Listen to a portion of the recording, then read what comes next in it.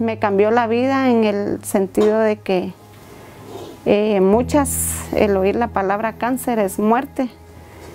Pensaba mucho en mis hijos, pensaba en mi familia, en mi mamá. Eh, me cambió la vida porque en su momento pensé no poder estar hasta el día de hoy. Pero sabía de que si yo me agarraba de Dios todo iba a ser mejor. Seguramente. ¿Qué cáncer fue el que le detectaron a usted? Eh, cáncer de mama. Aquí en la colonia yo salgo sin turbante. Yo desde que yo tenía mi cabello hasta abajo de las caderas. Y yo me lo corté porque lo doné, me lo quité hasta aquí. el mero día de la quimio fue el primero de abril. Yo le dije a mi hija en el hospital, cortámelo. Y yo ya había comprado un turbante. Y ella me decía, no, me decía, no mami, no se te va a caer tu pelo. Yo le decía, te aseguro que así se me va a caer. Y antes de perderlo, yo prefiero regalarlo, porque yo sé que así como le va a servir a otras personas, puede hacer que después me sirva a mí.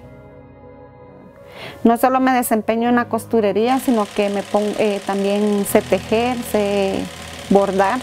Me buscan también para hacer peinados para bodas, para 15 años.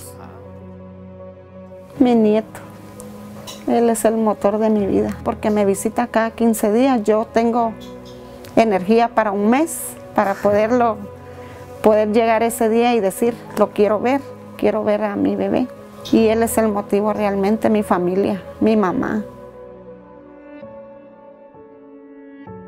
¿Sí?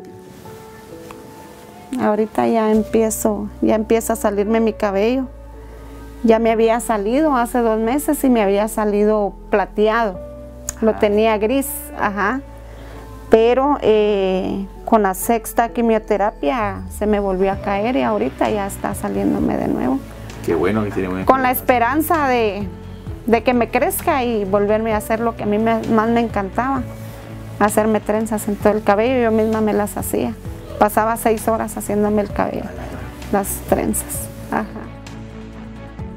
Realmente para mí un día es muy valioso el poderme levantar y poder ver al, ahí sí que el cielo y decir aquí voy.